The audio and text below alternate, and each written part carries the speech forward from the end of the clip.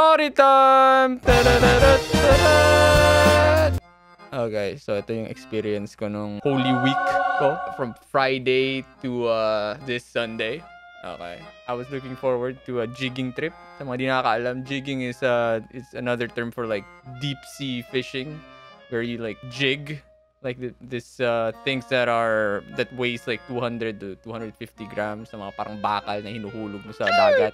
This was like my first time na mag night jigging sa isang bangka. Last time was like in a yacht pero natulog lang ako buong time sa yacht kasi it's like when you're out in the ocean you just wanna fucking sleep man. Like dinuduyan ka ng tubig.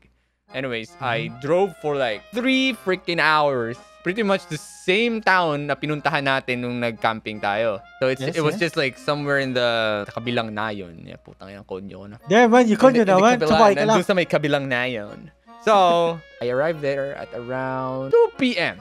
Sabi daw nung mentor ko, dapat by 3, aalis na kami, lalayag na kami, papuntang ano, papuntang laot. It was a pretty nice beach town. Walang katao-tao because for some reason, people were celebrating the penitensya. And what was really interesting though was like, every now and then, may madadaanan kang parang Elden Ring mob that's whipping themselves at the back. Oh, yeah. yeah, yeah, yeah, I was like, what the fuck? Why do people still do this? It's 2022, man! Pero grabe, may mga devote ano talaga. Mga devote uh, followers talaga who do that. Anyways, yun lang naman nakikita ko dun. Uh, mga nadaanan ko mga Elden Ring mobs. So, fast forward dun sa Zambales na. I arrived there very, very hungry. It was a bright, sunny day. I realized wala palang mga bukas na mga establishmento kahit mga sari-sari store wala. Kasi nga, Maundy Thursday. Buti na lang, may isa doon na parang mini stall that was selling their like fried chicken na parang homemade. So I Mm. I ate that one together with a bunch of kids who guided me. Kasi I didn't know the the place. And then yung mentor ko, sila, may tinuro na bata, Oy, alam, may alam ka ba kainan dito? And then the kid was like, Tara, tara, punta tayo doon. May alam ako mga ano kainan. And then pinunta namin yung mga tatlong kainan. Putang inang yan. Walang, hindi, hindi sarado. And then yung isang bata, naging tatlo. Because like, Oh, shit. the NPC be like, gathering more NPCs. Yeah? So pagdating namin dun sa may mini stall ng fried chicken, apat na yung linibre kong bata. Sabi ko, you know what? We'll take all your fucking chicken. I'll take all of that para makasarado na kayo. Pumating na yung 3pm, puta, wala pa yung bangka namin. And then yung 3pm na yun, naging alas 6. Kasi I don't know, na-delay yung bangka namin on todo-todo. So during the, between 3 to 6 p.m., I was just laying on the sand. Because for some reason, the sand felt super nice, very cold. The, the sea breeze felt nice. Then at 6 p.m., doon na kami lumaot. So for an hour, dinaanan namin yung mga ibang islands and then we started jigging. Yeah?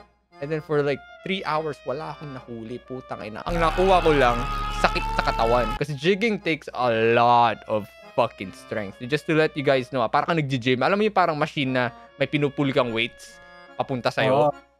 Ganun. So, imagine that, but you're constantly doing it for like hours and hours. That's how you attract the fish. Nung 3 hours na yun, I almost gave up. And then suddenly, putang ina may humatak. Like, sobrang bigat. I was like, oh shit, fish on, fish on! I was panicking, man. Tapos puta sabi ko, asan yung GoPro ko? Kasi di ko suot. Like, puta, hinanap ko yung GoPro ko. Yung nakita ko na yung GoPro ko, i-on ko na, biglang putang na gumaan. And I was like, no. No! No! Yung na-trend, di ba?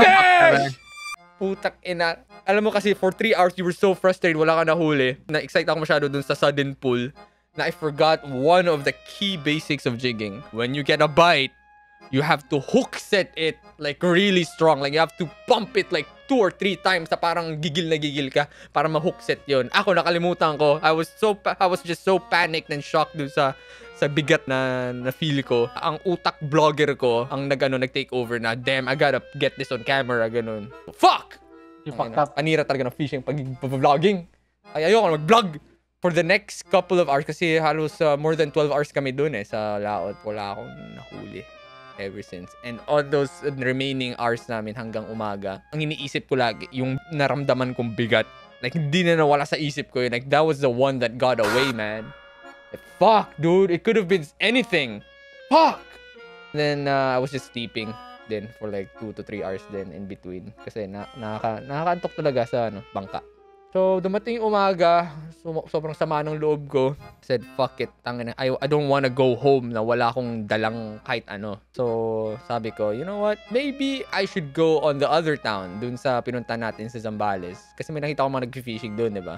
And then I drove for like 20 minutes there. And then weirdly, ang daming kotse. So pagdating ko doon sa town proper mismo, god damn, it looked like freaking spring break sa US. Sobrang daming tao. The traffic there was worse than EDSA, dude, on a rush hour. Hanap ako ng parking. I ate like uh, at a Mexican place. And then I walked for like 30 minutes in the scorching sun papunta dun sa beach kung saan tayo naglayag. Sobrang puno yung town, lalo na sa beach. Mga naka-tent, mga naka-ano yung naka-blast yung mga karaoke at mga speakers nila. May mga sarili silang mga ano tarpaulin and all that shit. Sabi ko, fuck, how am I gonna fish here? But anyways, you know what? Nandito lang rin naman ako, I'll go fishing. Tapos doon sa fishing area, putang ina, ang dami ring mga tao. And then I had to like climb very, very treacherous rocks. So sabi ko, fuck it, hindi ako makaka-traverse dito na hindi ako nababasa. Wala akong pan- pa- pamalit, but you know what, fuck it, sayang punta ko dito. So lumusong na ako. I got wet. I almost died because the rocks were so slippery. And then pagdating ko doon sa may ano, sa may fishing area kung saan ako mag magkakas. Ang daming mga nag-snorkel. Sabi ko, putang inang yan. Paano ako makaka-fishing nito? Bulabog yung mga isda. So I had to like climb uh, a few more rocks papunta dun sa may, may mas maraming clearing. Pagpunta ko na doon, sabi ko, finally, peace and quiet, kinda. Then putang ina, after like 5 minutes, may dumaan ako na bangka. Doon mismo sa kung saan ako nagkakast. And then after that, there was like a kayak. And then like every fucking 5 minutes, may dumadaan akong ano-ano. Sabi ko, putang ina, bulabog na mga isda. Wala na to. So I spent like 2 more hours there. Nagtsatsaga-tsaga lang. Sabi ko, fuck it. I'm gonna give up. So I went back the same way.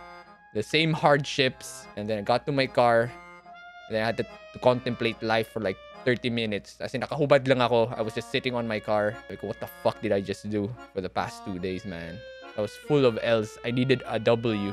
So sabi ko, you know what? I'll stay at a hotel somewhere. And then turns out, lahat ng mga hotel na pinuntahan ko around Zambales was fucking full. Wala nang vacancy. And I was so sleepy because I was so tired. But I, you know what? Fuck it. Sabi ko, punta na ka na ako sa Clark.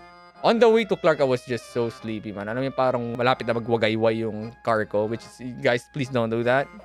Find a place uh, kung saan, saan ka pwede ano, magpahinga. Pero tangay na, every, siguro mga every 30 minutes nagpapahinga ako, nag, nag-stop ako somewhere. Until I reach Clark, I found this really nice drive-in hotel.